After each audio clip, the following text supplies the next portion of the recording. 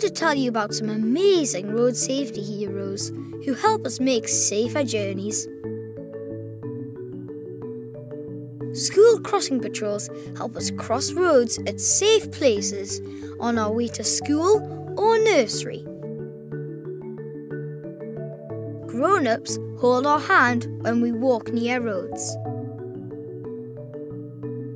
If we go by bike, they ride with us on safe cycle paths and make sure we wear a helmet to protect our heads if we fall off. When we travel by car, our grown ups make sure we always sit in our special child seat to keep us safe. They always wear a seatbelt and go at safe speeds, and they never use a phone while driving. Road designers and town planners design streets for people so we all have safe places to walk, ride, and play away from traffic. And police officers make sure that everyone uses roads safely. Even though we try to use roads safely, sometimes there's a crash.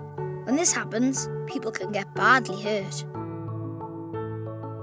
Fire and rescue services help people get out of their vehicles and take them to a safe place.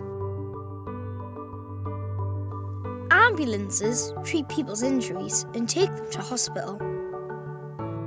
Sometimes they go by van or helicopter. At the hospital, doctors and nurses give people the medical care they need.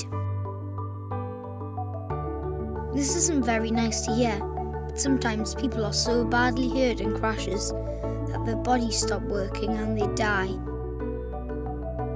When a special person dies, it makes us feel very sad. If this happens, our teachers, family, and friends help us. We can talk about our special person, and this makes us feel a bit better. Everyone who helps us make safer journeys and helps people after a crash is a road safety hero. These are my road safety heroes. Who are yours?